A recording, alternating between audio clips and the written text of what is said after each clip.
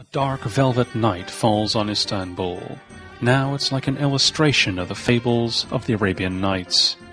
A dreamlike panorama opens up from the slopes of the city. The streetlights and the light of the never-ending traffic glisten like jewels. The bazaar calms down, which does not mean the end of trading.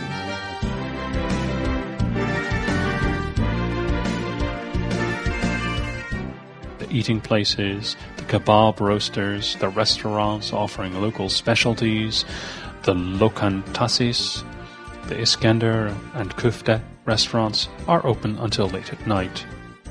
The audience and the broadcast vehicles outside watch the Besiktas match enthusiastically.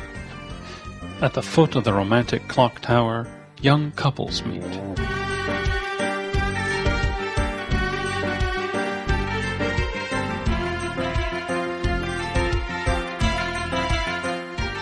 From the 85 meter tower of Bayazit, we may see dozens of thousand year old monuments.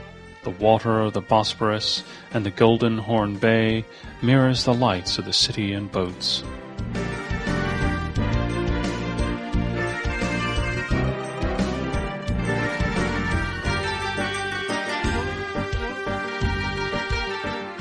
The sublimely lit walls and stone laces of the numerous jamis, mosques, fortresses, and minarets start to live their own life. The sight of Istanbul at night attracts all visitors to return to the city of the thousand minarets.